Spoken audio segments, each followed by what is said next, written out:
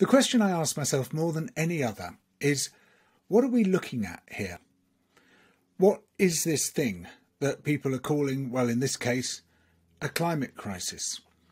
Well, it's one aspect of a much bigger crisis.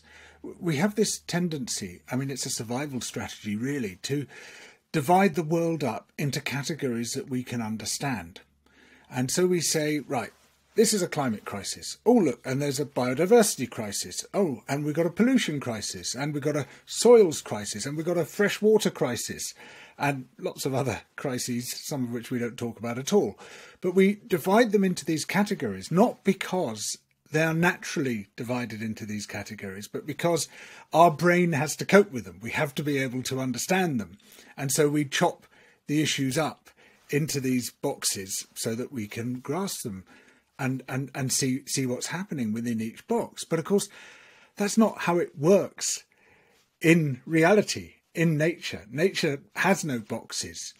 The systems that we divide up to make our brains understand them are all intermingled. They're all tangled up together. As John Muir said, if you try to pick out anything by itself, you find it hooked to everything else in the universe. And so, one of the problems we face in having summits about climate or summits about biodiversity or summits about pollution, if indeed they do, is, is that in trying to address one problem, or one aspect of the problem, we can actually exacerbate others because we're not seeing the big picture. So, a classic example of this is that one proposal is that we build literally millions of direct air capture machines, great big confections of steel and concrete, which will suck carbon dioxide out of the atmosphere and then pipe it away to be buried in geological formations. Now, we can argue about whether or not that's inherently a good or bad thing, and you know, there's some arguments in favour, but looking at it in isolation, we could miss the fact that these require a huge amount of resources masses more steel, masses more concrete. So, if we take just one aspect of, of that construction demand, sand.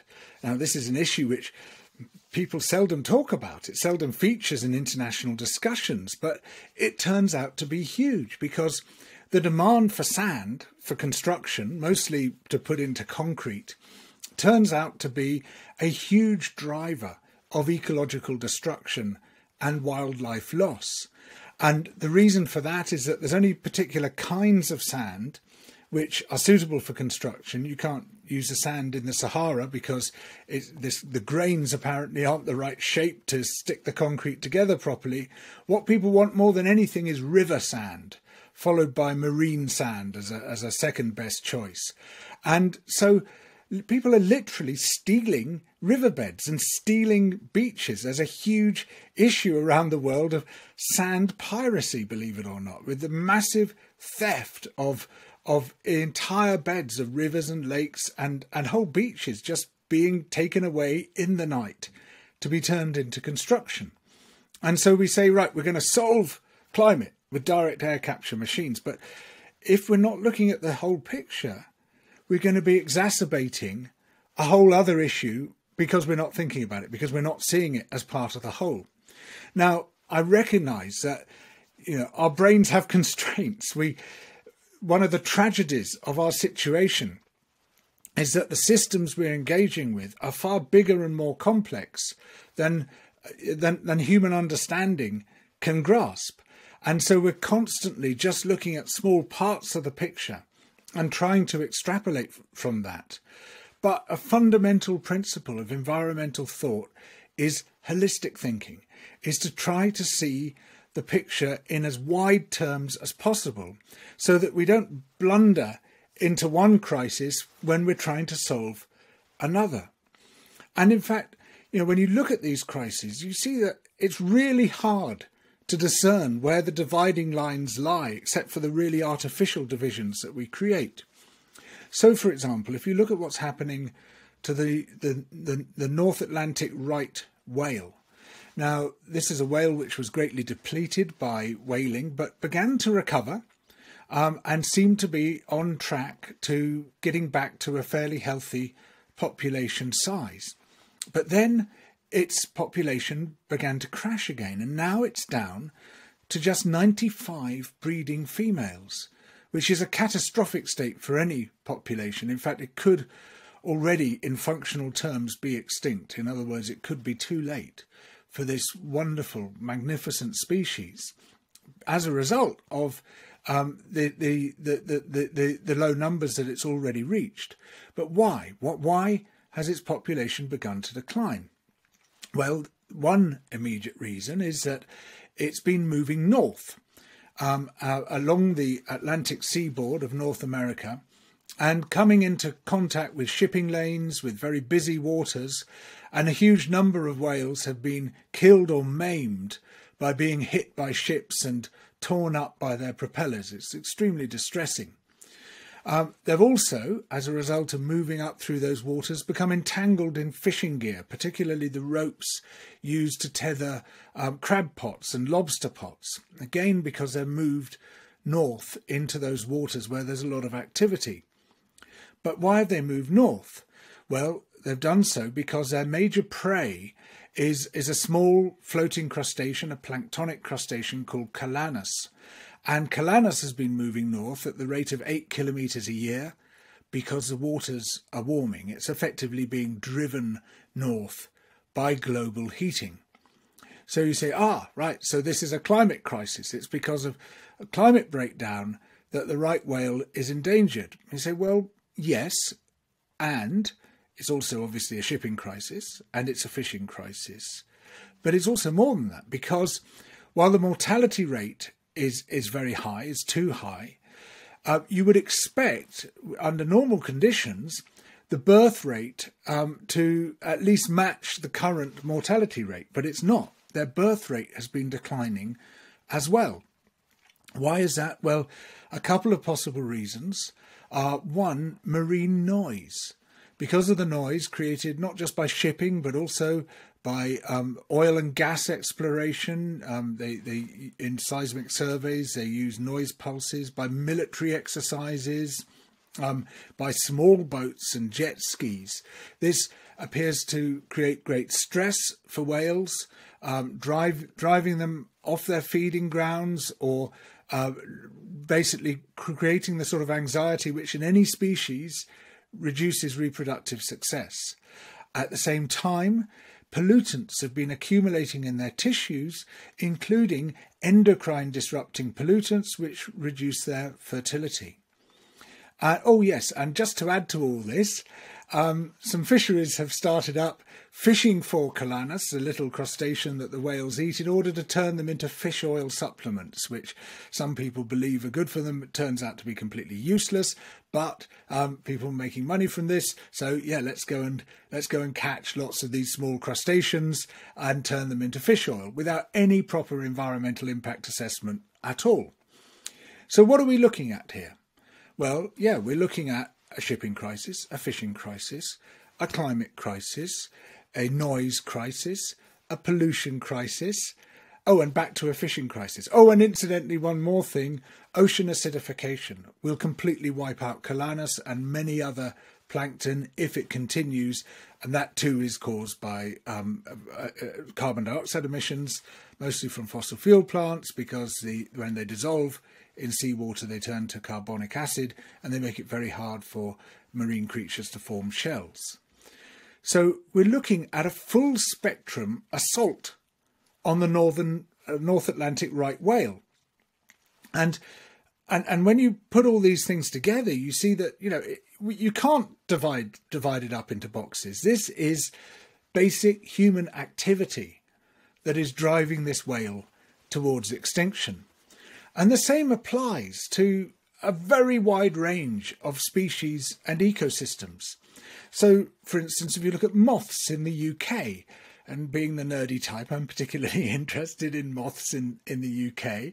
Uh, but we all should be because there's massively more species of moths than there are butterflies. They're a really ecologically important group of, of species. Um, and they're being hammered left, right, and centre by a huge range of impacts. So if we start with pesticides, now we know that very large amounts of pesticides are sprayed. There have been various experiments showing that each of those pesticides is likely to be harmful to moths or to their caterpillars um, and and to reduce their numbers. There haven't, as far as I can see, yet been any studies showing what happens when you put a cocktail of those pesticides together. Because again, the pesticides don't exist in isolation. Uh, a moth might be exposed to more than one at the same time, um, to several over the course of their lifetime.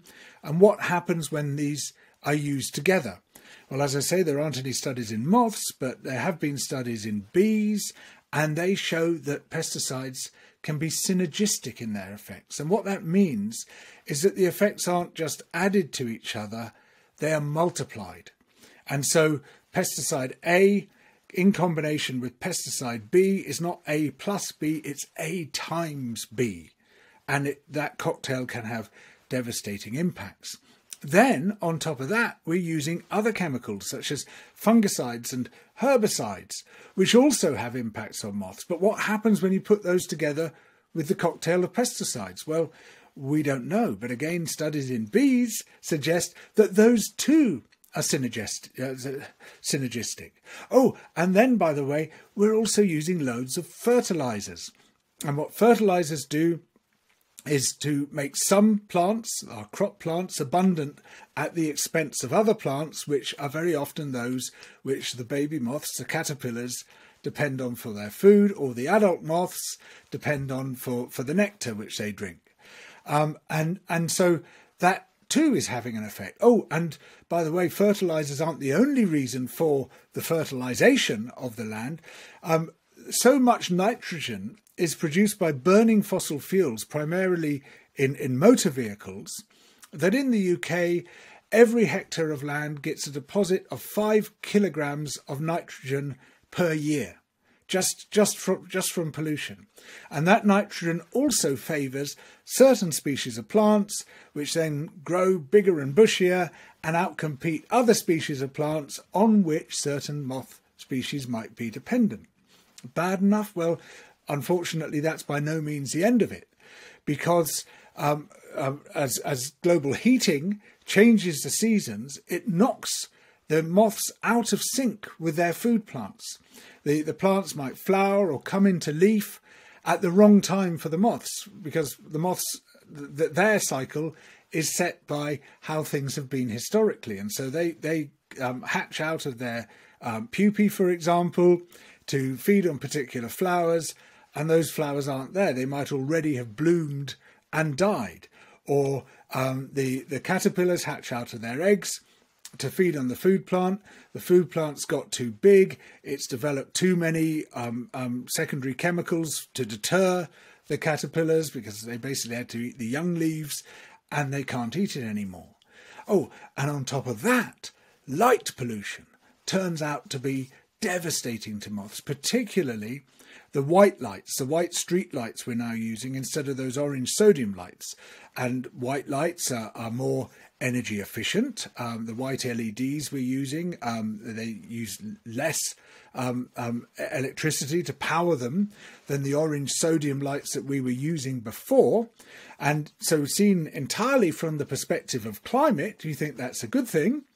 But seen from the perspective of the whole, it turns out that that white light, which of course has a much wider spectrum, um, is far more, uh, has a far greater effect on life forms than the orange light. And one study shows that um, caterpillars um, uh, on food plants um, close to close to those white lights are far less abundant than caterpillars where there aren't such lights light pollution is spreading across the world at great speed. In fact, there are fewer and fewer dark areas, even protected areas around the world, and we don't know what the full impact of that light pollution is. So again, we say, is this a climate crisis? Is this is this a chemicals crisis? Is is, is this um, an electricity crisis? What is it that's affecting the moths? It's everything.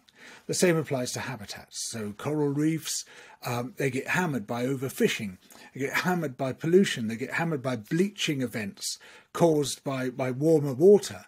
And then you get massive cyclones or typhoons come along and smash those coral reefs up. They turn out to be much less resilient to those extreme weather events, which have also been exacerbated by climate chaos, than they would otherwise have been because they've been weakened by the stuff that has already happened to them. Very similar with, with, with the rainforests.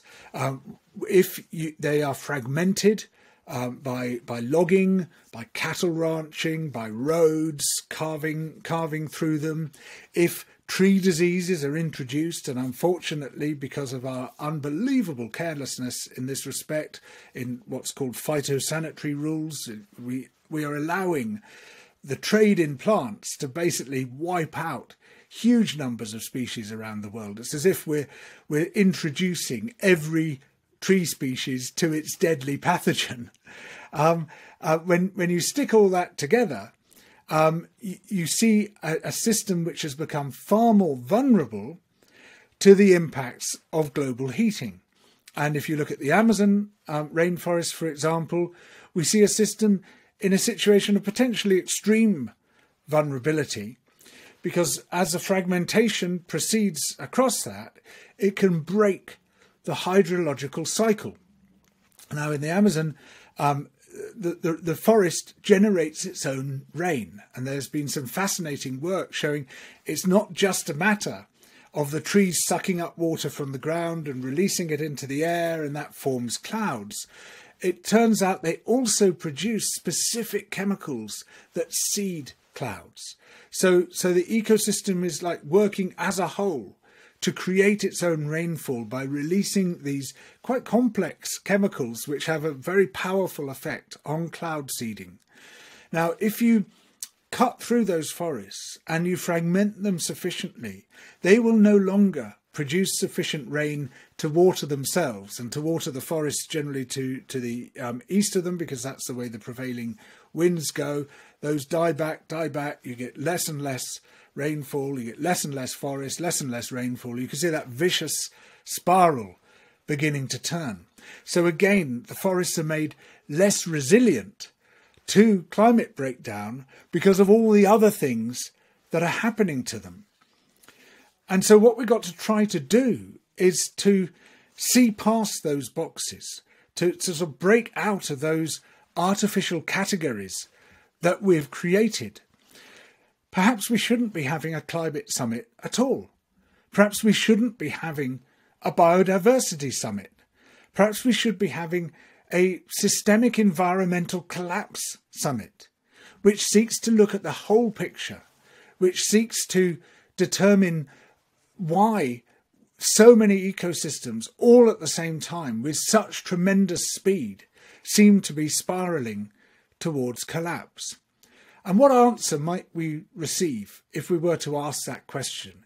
If we were to say, What am I looking at? Or I'm looking at systemic environmental collapse across many different ecosystems um, as a result of many different causes, what would we see? We'd see a full spectrum assault on the living world caused by economic activity. That is fundamentally the issue. Now, in, in my previous rant on this program, um, I talked a little bit about economic activity and how even apparently moderate rates of growth um, can drive an extraordinarily rapid doubling in, in, in that activity. So 3% a year means a doubling every 24 years. And when you look at the full spectrum of what we're doing, you see that it is that is what lies at the heart of it. It's that it's the sheer volume of activity in which human beings are engaged. So it seems to me that if we were to see this holistically, if we were to see the big picture, which as environmentalists we should constantly be trying to do, we would recognize that the fundamental problem is basically us doing too much. Now, some people say, ah, oh, that's because there's too many people. And I hear this a lot. You know, always people say, oh, the elephant in the room, there's too many people. But the reality is that actually it's driven above all else by our consumption, our levels of consumption, and that is overwhelmingly concentrated among the richest people on earth, whose birth rates tend to be quite low, whereas birth rates are highest amongst the poorest people on earth, whose consumption turns out to be extremely low. And if we want to look at the that total impact of economic activity, we use a formula which is called I equals PAT, which means impact equals population times affluence times technology. But if you are extremely poor, your affluence and your technology are very low. So there's very little A or T with which to multiply that P. So your overall impact is very low. But if you're very rich, as as uh, we are on average in nations such as my own, although of course it's woefully maldistributed, that wealth, then you don't need masses masses of people to create a very high impact because you have an awful lot of A and T, affluence and technology, with which to multiply the P, the population. All too often I see concerns about population used as, as a way of deflecting responsibility. People with enormous environmental impacts point to people with much smaller ones and say it's them. They're the problem. It's those people over there breeding too much. Well, actually, a great deal of continued population growth isn't even caused by current fertility rates. It's it's demographic momentum. Um, it's a simple mathematical function of high fertility rates several generations ago. It's like a storm in the Atlantic, in the middle of the Atlantic, four generations ago, which has generated a wave which is now coming into shore. And so people standing on that shore saying, go back, are like King Canute, um, basically arguing with a mathematical function. Fertility rates have been crashing worldwide. In some countries now, they're way below replacement rate, but in some of those countries, the population's still rising because of that demographic momentum. So in China, for instance, the average um, um, n- number of, of, of children per, per, per woman is 1.6, which is way below the replacement rate, but China's population is still rising because of stuff which happened many, many years ago, decades ago if you were to intervene in population at this stage of the curve, it would make more sense to intervene on the issue of longevity, of how long we live. But of course, that would bounce back onto the people trying to deflect blame because you'd say, okay, you want to deal with this? After you. And they wouldn't like that very much. But fundamentally, it's about economic activity. It's about how much each of those who've got money is doing. And that's what's driving the problem. So it seems to me that a fundamental task, and a task which I hope would come to the fore if there were what there ought to be, the Summit on Systemic Environmental Collapse, is greatly to reduce the economic activity of the richest people on earth. The poorest people, they should raise their economic activity because that extreme poverty is devastating for their well being. But the richest people, we have a duty to reduce ours. And it's not going to happen just through individual action. I'm not saying that's unimportant. Individual action is important, but much more important is the action that we take collectively. We must combine as citizens to demand something which no generation has ever demanded before, to demand less, effectively to riot for private, uh, private austerity, that doesn't mean we have to lead poor lives, not at all, because we can have public luxury. And, and that's what I want fundamentally is what I call private sufficiency, public luxury. But spending in the public domain is spending that we can all share. Whereas if we try to spend massively in our private do- domains, well, that's spending at the expense of everybody else. And so it's fundamentally that private affluence, the pursuit of private luxury, that if we want to avoid systemic environmental collapse, that's what we need to curtail. So perhaps that's why we're not seeing the bigger picture. We're not seeing the bigger picture because we don't want to. Thank you.